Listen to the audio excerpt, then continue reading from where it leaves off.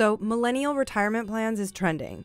Well, what are millennials' retirement plans anyway?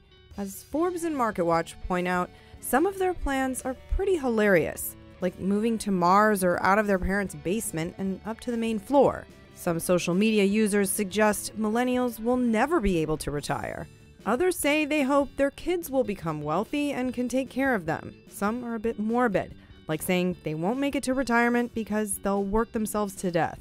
A Pew Research Center study says that young adults do not have as much accumulated wealth as baby boomers did at the same age. The median net worth of households headed by millennials, that's ages 20 to 35 in 2016, was about $12,500 in 2016. Compare that with 20,700 for boomer-led households in that age range in 1983 and about 15,100 for Gen Xers. However, the study says millennials are better educated than prior generations and are having families later. Experts suggest that it's not too late to come up with a better plan than, say, hoping your kids will make enough money to take care of you. Look for expenses to cut out, like subscriptions and happy hours, and put those funds towards saving for old age.